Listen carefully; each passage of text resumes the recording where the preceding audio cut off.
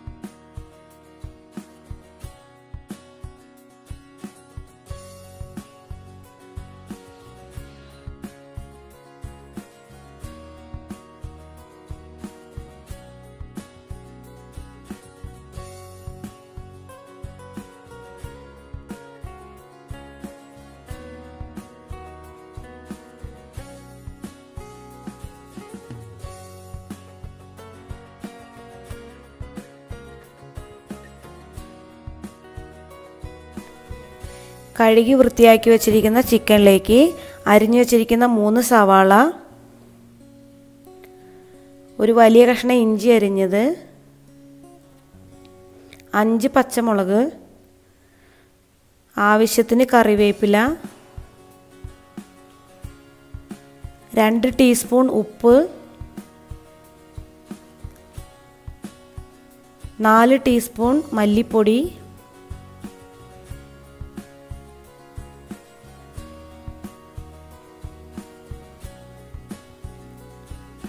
ഒരു ടീസ്പൂൺ മുളക് പൊടി ഒരു ടീസ്പൂൺ മഞ്ഞൾപ്പൊടി രണ്ട് ടീസ്പൂൺ ഗരം മസാല പൊടിച്ചത്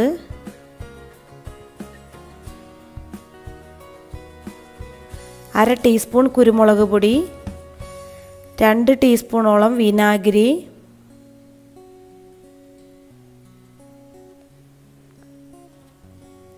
ആവശ്യത്തിന് കൊക്കനട്ട് ഓയിൽ ഇവയെല്ലാം കൂടെ ചേർത്ത് നന്നായി കൂട്ടി യോജിപ്പിച്ച് ഒരു ഫൈവ് ടു ടെൻ മിനിറ്റ് നമ്മൾ റെസ്റ്റ് ചെയ്യാൻ വെക്കണം.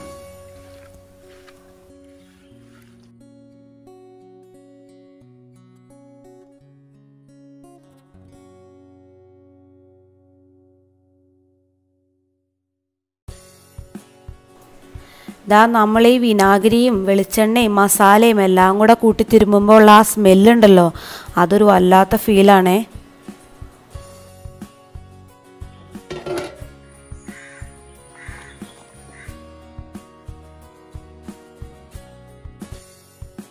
പത്ത് മിനിറ്റിന് ശേഷം നമ്മളിത് ഈ ചിക്കനെ തേങ്ങയുടെ രണ്ടാം പാലൊഴിച്ച് ഒന്ന് വേവിച്ചെടുക്കാൻ പോവുകയാണ്.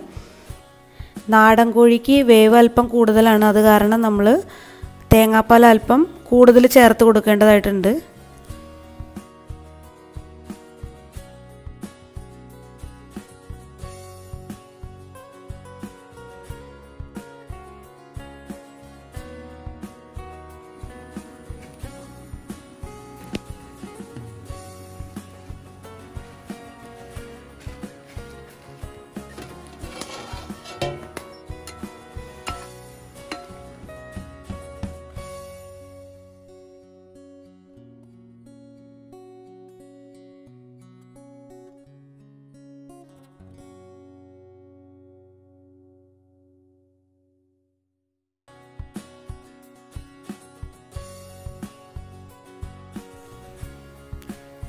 നമ്മുടെ ചിക്കൻ ദാ ഒരു പകുതി വേവായിട്ടുണ്ട് ഈ സമയത്ത് നമ്മൾ അരിഞ്ഞു വെച്ചിരിക്കുന്ന മൂന്ന് ഉരുളക്കിഴങ്ങ് ഇതിലേക്ക് ചേർത്ത് കൊടുത്ത് നന്നായി വേവിച്ചെടുക്കണം.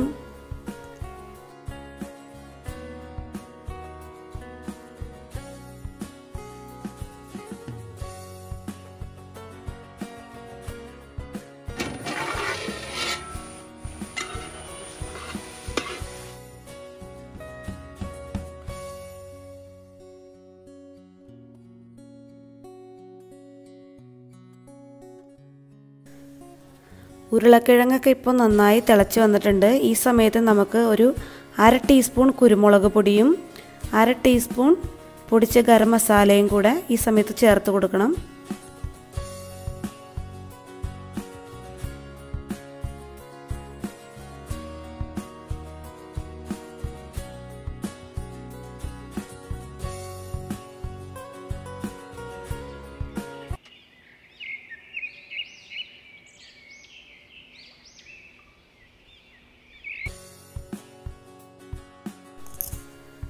നമ്മുടെ ചിക്കൻ ദാ നന്നായി വെന്ത് വന്നിട്ടുണ്ട്. ഈ സമയത്ത് നമ്മൾ എടുത്തു വച്ചിരിക്കുന്ന ഒന്നാം പാൽ ഇതിലേക്ക് ചേർത്ത് കൊടുക്കണം.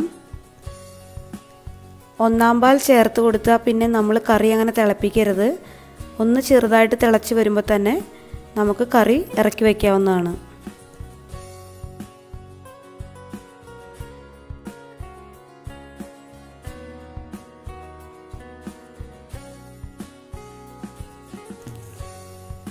ഇനി അല്പം ഉള്ളിയും കൂടെ താളിച്ചൊഴിച്ചാൽ ദാ നമ്മുടെ ചിക്കൻ കറി ഇവിടെ റെഡി ആയിരിക്കുകയാണ്.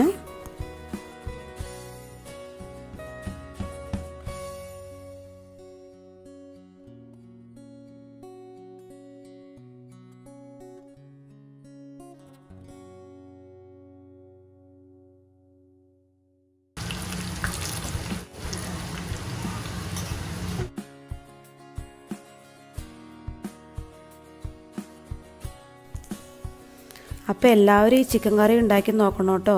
ഇഷ്ടമായാൽ ലൈക്ക് ചെയ്യാനും ഷെയർ ചെയ്യാനും സബ്സ്ക്രൈബ് ചെയ്യാനും മറക്കരുത്. Thanks for watching my kitchen hours